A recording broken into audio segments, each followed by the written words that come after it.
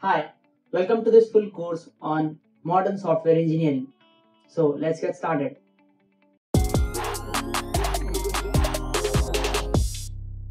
Welcome back. My name is Tulsiram and I'll be your instructor for this course. The course is designed and tailored to students who are preparing for their final exams and who has modern software engineering as a subject in their curriculum.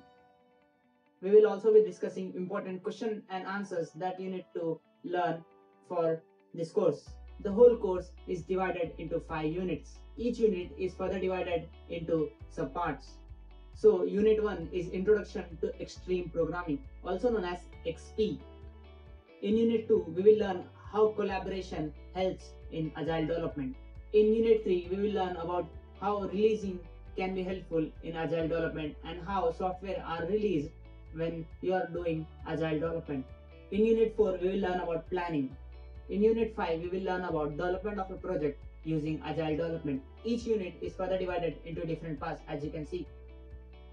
This is a textbook I would definitely recommend if you are learning modern software engineering, Art of Agile Development by James Shore and Shane Warden. I will also be providing notes for each unit in this course.